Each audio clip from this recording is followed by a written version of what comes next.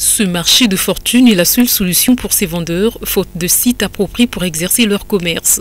Mais sa proximité avec la voie bitumée reste un danger permanent pour ces derniers, tout comme pour les usagers. Pour l'administrateur maire du 5e arrondissement, Mongompuku, rencontré à cet effet, le manque de marché est un problème qui se pose avec acuité à Pointe-Noire. La situation, euh, la situation des marchés à Pointe-Noire, c'est une situation c'est une situation générale, c'est une situation généralisée qui touche euh, toute la commune de Pointe-Noire, qui dit commune, dit les communes d'arrondissement.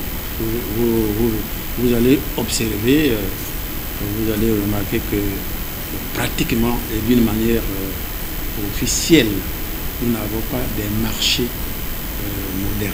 Pointe-Noire n'a pas de marché moderne. Selon une vendeuse sous couvert d'anonymat, le site réservé par la mairie pour abriter le marché de Siafoumou aurait été vendu par des propriétaires terriens. Le site qu'ils occupent actuellement est un domaine privé, a-t-elle conclu. Zéphirengui, pour sa part, rassure quant à l'existence du projet de construction de marché moderne à Mongompoku et souligne que la mairie reste à ce jour confrontée aux difficultés financières pour sa réalisation. La majorité de nos marchés sont des marchés de fortune. Des marchés de fortune. Donc, le marché que vous faites état, c'est un marché de fortune. Bon. la situation, elle est préoccupante.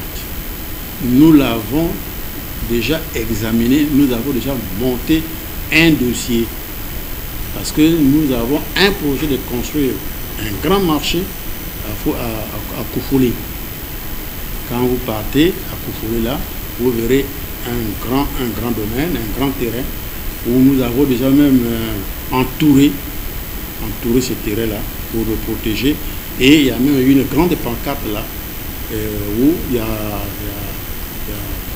un grand projet là, voyez, donc, euh, qui annonce la construction de ce marché.